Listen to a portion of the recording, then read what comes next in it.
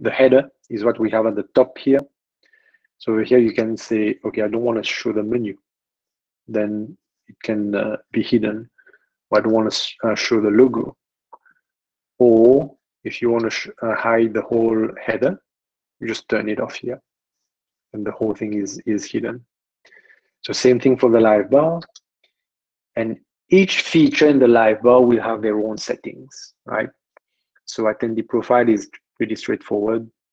So for things like chat, so you can actually change the text, the label here, uh, if you want to change it.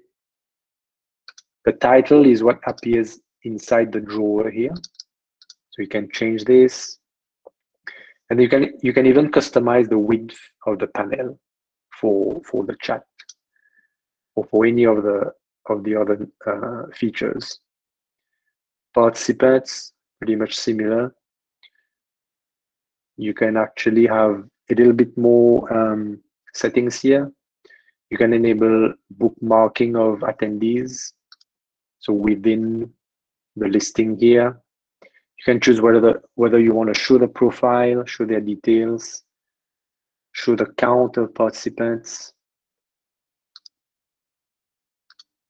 schedule, which is the personal agenda, um, has settings related to that. So whether what are the words that you want to use for somebody to when they are joining a session. So there is a button for them to join that session. So you can customize the button here. So whether it's attend, whether it's join. So pretty much all of the um, details can be, all of the details can be customized. This one is for private messages. So you can allow who can actually uh, private message who, right? Based on ticket type, maybe. So this can be done. Whether you want to allow them to see the viewer profile, attendee profile.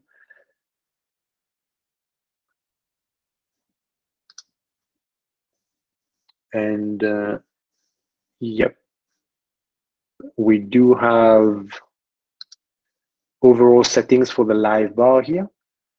So for example, here it can be left aligned.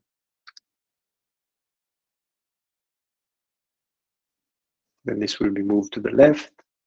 And then the drawer will be opening from the left.